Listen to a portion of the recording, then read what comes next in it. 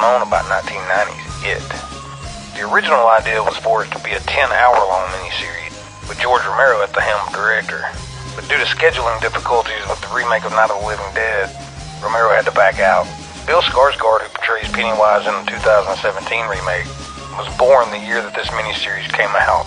Tim Curry was actually reluctant to take the role at first, fearing all the makeup time he had to sit through again. I kinda don't blame him seeing how he had to sit through all that during Legend.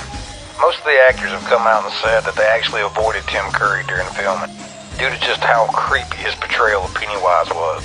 The little guy playing Georgie even told him one time that he was scaring him, which Curry replied, gee, I'm so sorry, but that's what I'm supposed to be doing, and you're supposed to be scared. Hello, I'm Pennywise, the dancing clown.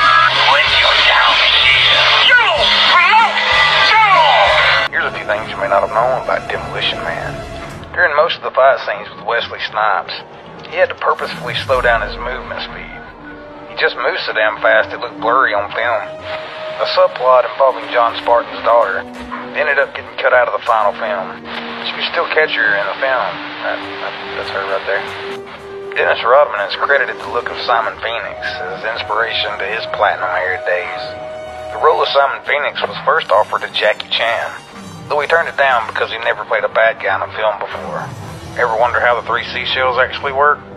According to Stallone, two are used like chopsticks, while the third is left for final cleanup. Thanks a lot, you shit.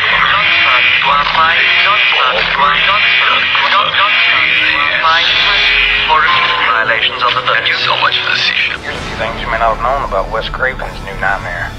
The premise of this movie was intended to be used on Nightmare on Elm Street 3, The Dream Warriors, but the studio rejected it at the time.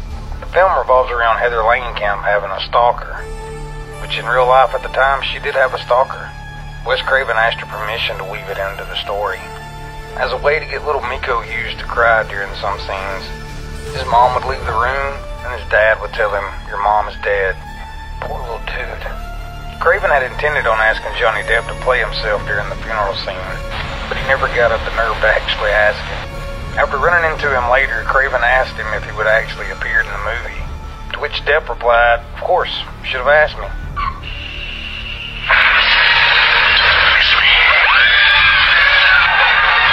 Here's a few things you may not have known about The Crow.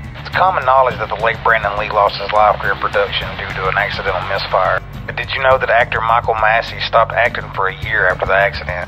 Of course, it was no fault of his own. He was just so traumatized he needed a break. He would also go on to say that he had nightmares for the rest of his life and never watched the film.